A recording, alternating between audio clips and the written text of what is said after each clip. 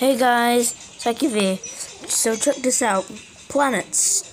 We got the Sun, the Mercury, Venus, Earth, Mars. We got the Kuiper Belt. This tiny one here is Ceres.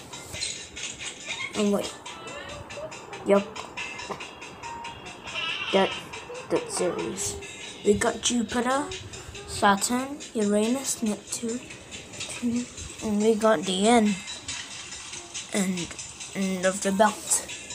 So in the middle we have uh, Pluto, Haumea. So in the end we have Pluto, Haumea, Makemake, and Eris. So uh, yeah, bye guys.